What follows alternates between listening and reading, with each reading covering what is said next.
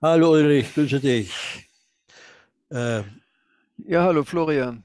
Es kam ja in den letzten Tagen ein, zu einer Eskalation der Beziehungen zwischen Russland und NATO, vor allem der USA, die äh, Russland immer vorgeworfen hat, eine erhebliche Truppenkonzentration an der Grenze zur Ukraine stationiert zu haben und womöglich einen, eine Invasion geplant zu haben. Der Außenminister sprach sogar von Beweisen, die vorliegen würden. Jetzt haben sich äh, Blinken und ähm, der russische Außenminister Lavrov ja heute in Stockholm anlässlich der OSZE-Konferenz getroffen. Da wurde eigentlich immer nur wiederholt, was vorher schon immer da war. Also die Amerikaner sagen, sie würden ähm, sozusagen die Ukraine hinter der Ukraine stehen und es würde ähm, große Kosten verursachen, wenn Russland da äh, militärisch vorgehe, während Lavrov äh, betont hat, dass ähm, Russland Sicherheitsgarantien gerne hätte, äh, auch nicht angreifen würde. Es bestehe keine Absicht und äh, das halt sozusagen das Hauptthema ist, die NATO-Osterweiterung zu beenden und keine neuen Waffensysteme an der Grenze zu Russland aufzustellen. Aber da scheint was verhakt zu sein. Wie siehst du denn die Situation im Augenblick aus äh, in der russischen Sicht? Naja, ich sehe es so, dass praktisch die, also insbesondere die amerikanischen Medien, die amerikanische Regierung eben diese These von dem äh, russischen Aufmarsch äh, predigt seit zwei, drei Wochen. Hm. Und Komischerweise äh, war es äh, eine, gab es eine Phase, wo Kiew da gar nicht mitgezogen hat. Also was, was man noch extra besprechen müsste. Also es hat vielleicht kann es sein, dass äh, Zelensky jetzt ganz andere Probleme hat in der, in der Ukraine mit seinen Gesetzen da, ähm, mit den Oligarchen und so weiter. Auf jeden Fall dann ist, ist die Ukraine wieder darauf eingeschwenkt und ähm, naja, und dann hat Putin gestern äh, im Kreml äh, anlässlich einer, eines Empfangs für 20 äh, neue Botschafter aus verschiedenen Ländern, hat er gesagt, ähm, was also sozusagen als Gegen, äh, Gegenschachzug, sag ich mal, also wenn ihr, äh, wenn ihr behauptet, also so hat er es nicht gesagt, aber wir erwarten jetzt, dass es eine juristische Abmachung gibt, dass es äh, eben die keine weitere Osterweiterung der NATO, also Moldawien, äh, Georgien, Ukraine hat er nicht genannt, aber das ist klar, das geht um diese drei Länder. Und äh, keine Stationierung von äh, Waffen, die Russland bedrohen können. Das hat er auch nicht territorial äh, spezifiziert, aber damit ist sicherlich auch vor allem die Ukraine gemeint. Ähm, und ich meine, dann hat er noch gesagt, das fand ich auch interessant, er hat gesagt, ja, wir können uns ja nicht auf die NATO verlassen. Also vor 30 Jahren äh, wurde uns versprochen, keine Osterweiterung der NATO. Und das Versprechen wurde nicht eingehalten. Und deswegen möchten wir jetzt das juristisch festmachen. Also das ist ja eigentlich eine Geste der, hm, also ein diplomatisches Angebot. In dieser Zeit der harten Wortgefechte und gegenseitigen Beschuldigungen ist, ist es natürlich erstmal ein konstruktiver Schritt. Und ich bin gespannt, was was die äh, US-Administration und die NATO dazu, dazu, sagen. Also ob sie überhaupt da, das erwähnen. Und naja, ich meine, die, ähm, die USA äh, pokern ziemlich hoch, finde ich. Also ich meine, dieser Blinken hat gestern in äh, Stockholm gesagt, ähm, eben hat er, wie du schon erwähntest, schwere äh, Folgen angekündigt, sollte Russland also äh, die Ukraine angreifen. Er hat keine Zahlen vorgelegt, keine Beweise, keine Fotos für diese Behauptung. Also bis heute gibt es da eigentlich nur einfach trockene Textzeilen, aber keine realen Beweise. Ähm, ja, es gab ein paar äh, Satellitenbilder, die in den amerikanischen Medien kursiert aha. sind, äh, die zeigen, dass äh, ein großer Fuhrpark von militärischen Fahrzeugen. Aber wo, wo das genauer ist und äh, ja, das war das vor, vor zwei Wochen schon. Hm, das ja, war, genau, äh, ja. Das war, äh, habe ich jetzt gesehen, da stand in der Bildunterschrift stand dann Jelen. Das ist eine Stadt, die ist praktisch, äh, die liegt im Smolensker Gebiet, 150 Kilometer von der weißrussischen Grenze entfernt, 200 Kilometer, 50 Kilometer von Moskau und 300 Kilometer von der ukrainischen Grenze. Also das ist, äh, das kann auch ein altes Foto sein, das ist tatsächlich ein Fuhrpark, konnte man da sehen, aber das ist, ich meine, dass nun äh, eine Ansammlung von Militärgerät 300 Kilometer nördlich der Ukraine äh, als aktuelle äh, Bedrohung zu bezeichnen, ist irgendwie unsinnig. Also es hat aber nun auch äh, die russische Seite gestern oder vorgestern Maria Sacharowa, die Sprecherin des Außenministeriums, dann nochmal sozusagen die Elektorkutsche gegeben und gesagt, die Ukrainer würden äh, über 100.000 Soldaten an der Nähe der Grenze äh, massieren und das sei doch jetzt gefährlich. Ist da, sie hat natürlich auch keine Beweise. Hat sie 100.000 gesagt? Über 100, äh, fast die Hälfte der ukrainischen Armee wäre dort stationiert. Ach so, genau, ja, stimmt. Also die über 125.000. Ja, genau. Da ist der, aber auch nichts weiter dran, oder? Denke an der ich. Grenze, also am, im Donbass hat sie gesagt, mhm. die Hälfte der. Mhm. Ja. ja, ich meine, da da muss ich ehrlich gesagt sagen, habe ich jetzt nichts, äh, ob das, äh, ob das stimmt. Ich meine, das ist absolut vorstellbar. Ich meine, ich meine, die, das war ja schon im, im März so, als diese letzte große Krise war, da waren ja auch die, äh, waren also die Bewegung, gab es ja dieses russische Manöver an der, die auch schon mal sagen, in der Nähe der ukrainischen Grenze waren, also jetzt nicht direkt an der Grenze, aber und dann gab es mhm. eben auch von der viele Videos, die bestätigten, dass eben die Ukrainer schwere Waffen Richtung Donbass fuhren. Das war auch so. Ich meine, das lässt sich immer alles schwer äh, mhm. wirklich verifizieren. Also ähm, ich meine, es gibt noch eine andere Sache, die auch äh, da noch reinspielt jetzt in diesen, diesen Konflikt. Also ist praktisch, dass Lukaschenko sagt, die Ukraine hat äh, 10.000 Soldaten an die äh, weißrussisch äh, ukrainisch-weißrussische Grenze geschickt. Mhm. Also er fühlt sich also von den Ukrainern auch schon bedroht und, und hat jetzt angekündigt, heute in einem riesigen Interview, was der russische Fernsehkanal äh, Rossiya ausgestrahlt hat, dass er auf jeden Fall die Krim besuchen wird und hat er so verklausuliert gesagt, dass, naja, wenn zwei Präsidenten, also ich mit Putin da auf der Krim bin, dann dann heißt es, dass ich die auch, also hat er so, nicht direkt so gesagt, aber dann erkenne ich die Krim als russisches Gebiet an. Das ist äh, auch eine neue Situation, weil, mal sagen, äh, also die Rolle von Lukaschenko war ja, er hat diesen Minsker Friedensprozess 2014 äh, begonnen in Minsk, in der Stadt Minsk. Er hat, war der Vermittler sozusagen und hat sich hat eine neutrale Position bezogen und hat auch der, also er hat auf jeden Fall nicht die, die Krim als russisches Gebiet anerkannt. Jetzt will er diesen Schritt also machen und hat auch gleichzeitig angekündigt, er würde praktisch äh, würde auch russische Waffen, also neue Waffen da äh, aufstellen, äh, wenn das, wenn das gewünscht wird, also zur Verteidigung, hat nochmal darauf hingewiesen, es gäbe ja eine gemeinsame Luftabwehr zusammen mit Russland und hat die Waffen, also S-400, S-500, also diese äh, Luftabwehrsysteme mhm. erwähnt und hat auch was von Atomwaffen gesagt, die möglicherweise in, äh, die in Weißrussland stationiert werden, wenn in Polen äh, sowas kommt. Und ähm, ich meine, das ist natürlich schon eine, äh, ja, also das ist eine, ehrlich gesagt, also es, diese beiden Blöcke, stoßen, mal sagen, immer mehr aufeinander. Ja, wobei es ja eher die kleinen. Es wird noch nicht äh, geschossen, aber es. Äh, mir deucht, das sind, sind, so die kleineren Staaten, also wie Weißrussland, die jetzt sozusagen provozieren, oder Ukraine mhm. oder Polen, die natürlich sozusagen die äh, Großmächte hinter sich äh, ziehen wollen und Eigeninteressen durchziehen. Und da könnte es tatsächlich gefährlich werden. Die Ukraine sagt ja, sie hätte die Soldaten äh, an die Grenze nur deswegen gestrickt, um mögliche Migranten abzuwehren. Also es würde sich nicht gegen äh, mhm. Weißrussland richten. Mhm. Naja, also,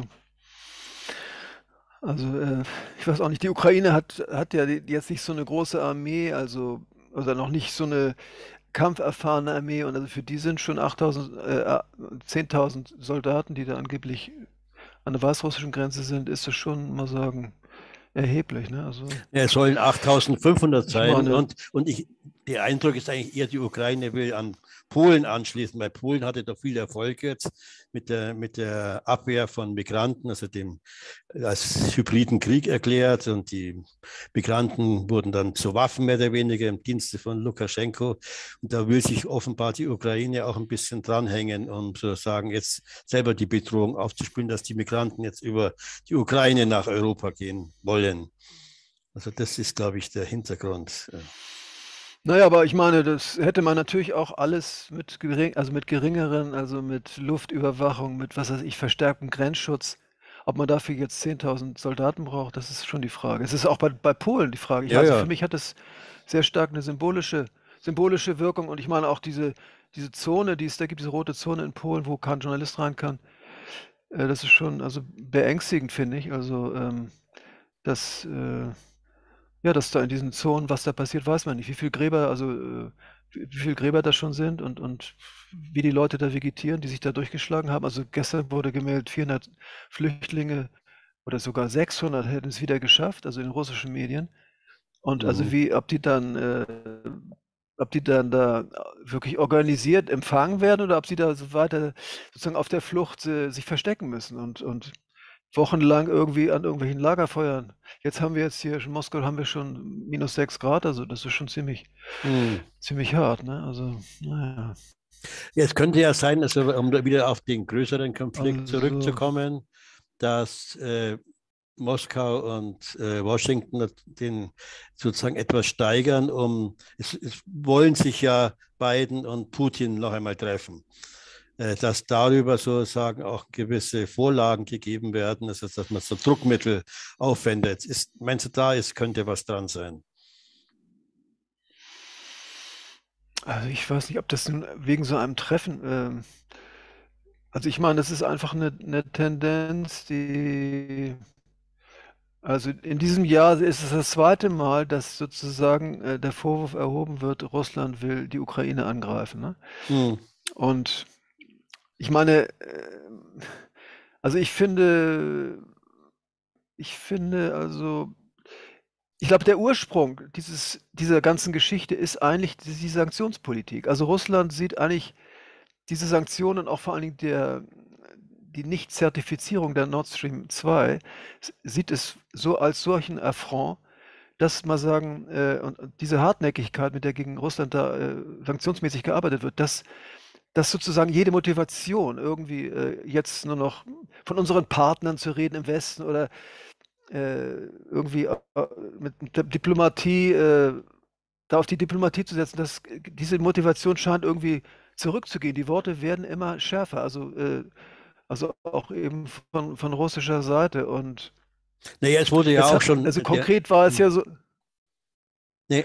konkret war es ja so, dass das Normandie-Format stattfinden sollte, dass Russland gesagt hat: „Wenn das Ergebnis dieses dieses Treffens nicht ist, dass dass ein direkter Kontakt zwischen Kiew und den, ähm, Volksrepubliken Donezk, Lugansk hergestellt wird, dann hat dieses Treffen keinen Sinn. Wir machen da nicht mit.“ Und dann haben sie, äh die Russen diese ganze Korrespondenz veröffentlicht, äh, also, zwischen Paris, Berlin und Moskau, was absolut unüblich ist und, ähm, im Diplo in der Diplomatie. Und das ist ja alles schon 'n Zeichen. Also, das wird wirklich an der das ist wirklich an der Grenze des, äh des überhaupt noch, äh, Vorstellbaren. Also, äh, und ich meine, die ich bin eigentlich ich habe mal so überlegt heute, also, wir hatten ja wir haben ja im Kalten Krieg lange gelebt, also, von Mhm. von 1947 bis, bis 1969. Das waren ja, was weiß ich, wie viel Jahre?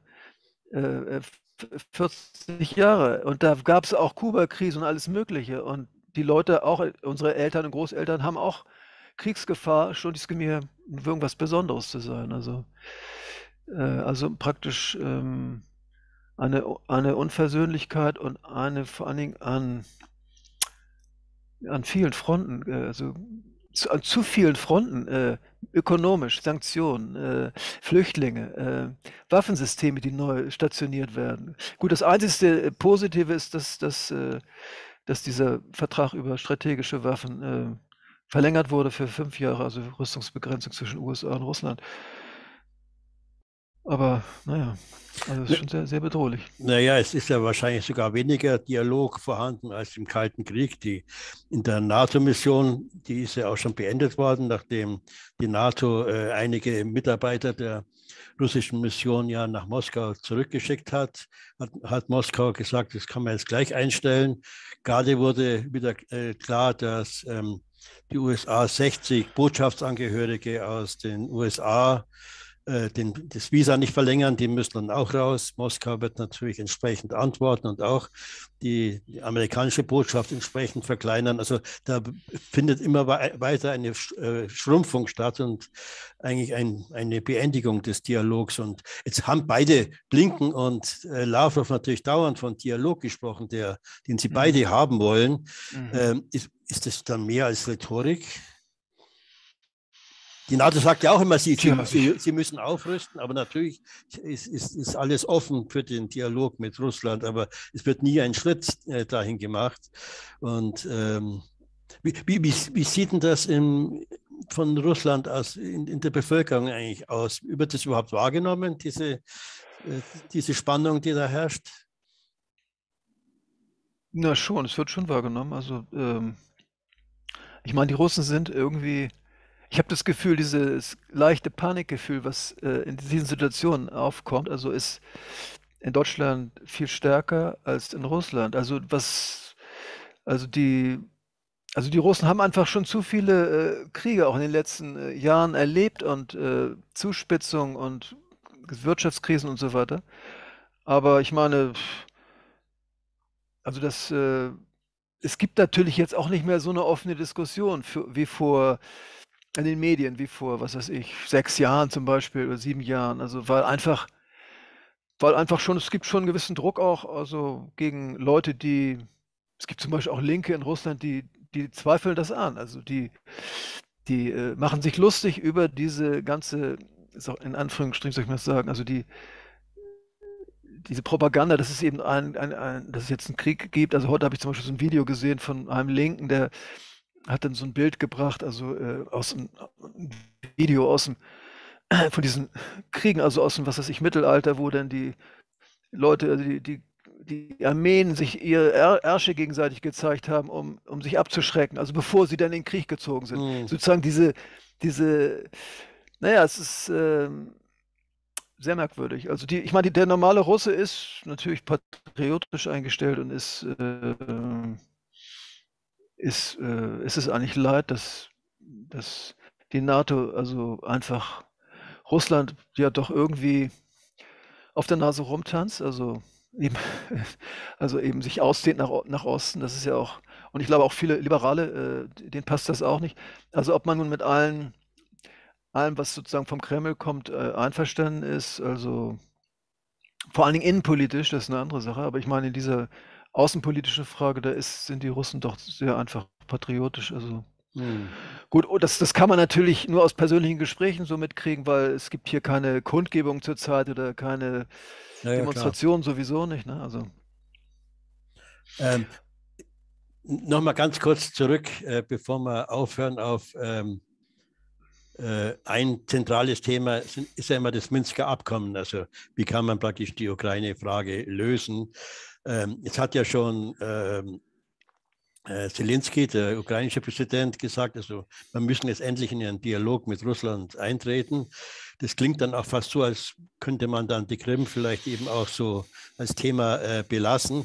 Aber Russland hat eben gar kein Interesse daran an einem Gespräch mit Kiew, sondern er will ja, dass Kiew mit den Volksrepubliken spricht. Äh, ist da überhaupt irgendwas in Bewegung zurzeit, dass da äh, irgendeine Art von Verständigung zwischen Kiew und den Volksrepubliken stattfinden könnte? Also dass der äh, Minsker, das Minsker Abkommen wirklich umgesetzt werden kann? Ja, also das halte ich für, für ausgeschlossen. Also, also ich meine, Zelensky kann man politisch jetzt nicht so für, als ist eigentlich kein politisches Schwergewicht. Also der ist irgendwie abhängig, meiner Ansicht nach, von sehr stark auch von den USA und also und er wird, er wird, wird also diesen verschärften Kurs, also wird er, zieht, zieht er mit letzten Endes und selbst wenn er sieht, dass es äh, sehr schwer wird, weil jetzt zum Beispiel die, äh, hat jetzt ja heute oder gestern sollte ja angeblich ein Staatsstreich in Ja, der ja. Ukraine sein. Äh, äh, angeblich der äh, Oligarch Rinat Achmetov würde Mhm. angeblich äh, im Untergrund Grund wühlen sozusagen. Äh, da müsste man noch mal extra drüber sprechen, weil, also ich meine, äh, Zelensky will eben diesen Achmetov äh, irgendwie die Medien entziehen, die er hat und ihn auch stärker besteuern. In Kolomoisky will er nicht so stark besteuern oder gar, gar nicht für seine äh, Rohstoffe, die er in der Ukraine. Da gibt es eben äh, tatsächlich auch einen inhaltlichen Streit. Und aber ich meine, es ist einfach so, äh, äh, die USA und auch Zelensky, die wollen äh, praktisch, die sagen ja, äh, der Krieg, äh, Russland führt in, im Donbass Krieg. Mhm. Und, und, und Putin sagt, äh, da leben Menschen, die sich zu uns zugehörig fühlen, aber wir führen da keinen Krieg und wir haben da keine Truppen. Das heißt, also wenn, wenn der Konflikt gelöst werden kann, äh, kann nur gelöst werden, wenn, wie im Minsker Abkommen festgeschrieben, dort Wahlen stattfinden, dann äh, die Truppen abziehen und äh, heißt äh, Kiew, Donetsk und Lugansk. Wenn jetzt, äh, ich glaube nicht, dass Putin, also äh, ich glaube, Putin ist schon bereit zu einem Treffen mit äh, Zelensky, aber nur wenn das dann auch dabei rauskommt. Also wenn sozusagen absehbar ist, dass Kiew äh, am Ende dieses Treffens, äh, wenn, wenn es irgendwie da ein Signal gibt, also einfach nur sich mit Zelensky treffen, das, das glaube ich nicht, dass er das macht, weil ähm, dadurch könnte eben als, ja, ich habe also mit dem, mit dem Anführer der Okkupanten, mit, der, mit dem aggressiven Russland gesprochen und habe versucht, ihm klar zu machen, dass er nicht ein, eingreifen darf, militärisch. Also so würde er das ausschlachten. Und da hat, kann also der Kreml kein Interesse daran haben. Deswegen glaube ich nicht, dass äh, er unter den, den heutigen Bedingungen darauf eingeht. Wie, wie sieht man denn Wobei interessant ist, die, Ja. Die Oppositionspartei in der, in der Ukraine, die russlandfreundliche, die ist für so ein Treffen. Also hat sie gesagt, äh, äh, Zelensky und Putin. Ähm, aber sie ist natürlich, also ähm, sie ist auch dafür, dass Lugansk und Donetsk mit Kiew an einem Tisch sitzen. Ne? Naja. Jetzt ist ja immer das Normandie-Format äh, so eine große Instanz gewesen. Äh, Deutschland, Frankreich, äh, Russland und äh, Ukraine. Jetzt haben wir ja eine neue Außenministerin bald im Amt, die ja nicht besonders russlandfreundlich ist. Also gibt es da schon irgendwelche Reaktionen in Russland oder, oder in der Ukraine auf, die, auf diesen politischen Wechsel in Deutschland? Also das habe ich, äh, ich habe gehört, in, in Radiostationen soll über Baerbock schon informiert worden sein, aber äh, auch über die neue Regierung, aber jetzt in den Zeitungen äh, sehr wenig, also erstaunlich wenig. Ähm, also man, man, die, die viele Deutsche, die sozusagen russlandfreundlich eingestellt sind, die äh, sind geradezu schockiert. Warum sagen die Russen nichts zu Baerbock? Also äh, das kann sein, dass es auch mal sagen im Kreml da vielleicht sogar unterschiedliche Meinungen gibt. Also solange diese Baerbock nicht im Amt ist und die Hm. Regierung nicht im Amt ist, die neue, dass man sozusagen nicht unnötig Porzellan zerschlägt und auch vielleicht, dass man nicht, nicht, nicht sich dem Vorwurf aussetzen will, äh, irgendwie russische Einflussnahme auf die Regierungsbildung. Also das ist vielleicht sogar das Allerwichtigste, dass man diesen Vorwurf also nicht, äh, dass man dem sozusagen die, jede Grundlage entziehen will. Ähm, dazu kommt vielleicht einfach, dass Deutschland ist für Russland wahnsinnig wichtig. Also, äh, weil Deutschland ist die größte Macht in, stärkste Macht in Europa und äh, was die gesamte ökonomische, militärische Situation ähm, und wie das Verhältnis von Europa, Westeuropa zu Russland wird, wird letztendlich durch Deutschland Hm. bestimmt, also sehr stark zumindest. Und da will Russland irgendwie nicht unnötig mal sagen, ist zu meiner Interpretation. Also, wobei es äh, tausende Gründe gäbe, äh, Porträts über diese Frau Baerbeck zu machen, also was sie überhaupt in ihrem Leben, was es überhaupt für eine Frau ist. Sie ist eigentlich ein unbeschriebenes Blatt. Hm. Also, ähm, also gut, ich meine, die Russen sind auch so, dass sie in der Diplomatie, dass diese Diplomatie auch sogar in die Medien reingeht. Das heißt, dass man also mit äußerster Vorsicht also äh, kommentiert über fremde Staatsführer. Und Also das ist einfach sehr, könnte man fast sagen, sowjetisch, dass man da sozusagen keine, keine Empfindlichkeiten auslösen will. Also nicht so wie im Westen, wo man sozusagen über alle, also dass Merkel da nun sitzt mit dem, mit dem Hund von Putin und sich äh, angeblich geärgert hat, solche Kleinigkeiten würde, würde man in der russischen Presse nicht finden, weil das einfach sozusagen Internas sind, die man äh, nicht, also zum Beispiel dieses äh, Baerbock mit ihrem Buch, was sie große Teile abgeschrieben hat oder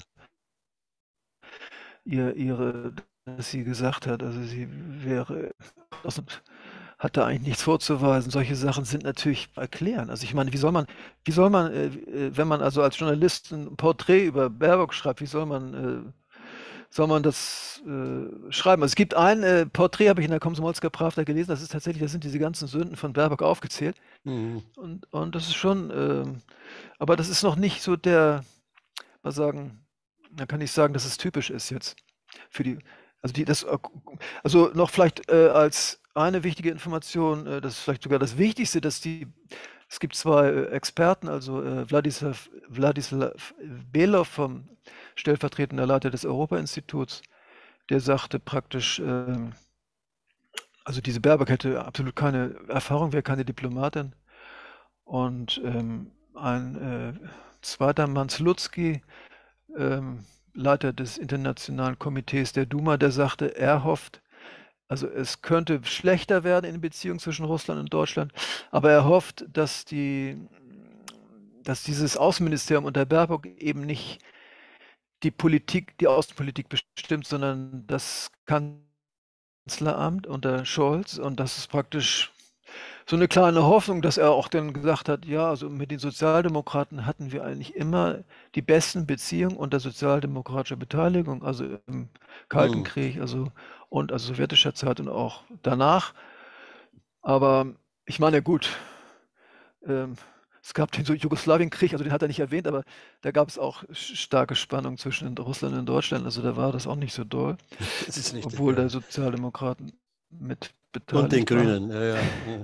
Aber ich meine, es ist, äh, ja, es ist schon, schon auffällig, dass Russland da sich noch immer zurückhält in einer Bewertung. Ich meine, es gibt so viele Fronten, äh, an denen Russland zurzeit äh, sich wehren muss und ähm, da nun mit, mit, mit der neuen Regierung da irgendwelche groß, obwohl die noch gar nicht im Amt ist, noch große Bewertung abzugeben, das, das haben sie sich erstmal, also haben sie sich erstmal aufgespart. Also wenn es wirklich, also konkret, wenn es mit der Nord Stream 2, wenn die Baerbock da äh, sozusagen da querschießt und es gibt ja auch im Koalitionsvertrag gibt es ja keinen äh, keinen einzigen Satz, wo dies, dieses Pipeline erwähnt wird. Es wird, steht da nur drin, praktisch, äh, dass das nach europäischem Recht entschieden werden soll. Und das könnte schon heißen, dass in dass ein Gericht, also unter EU-Aufsicht, dann dagegen ist, weil es praktisch, äh, ja, die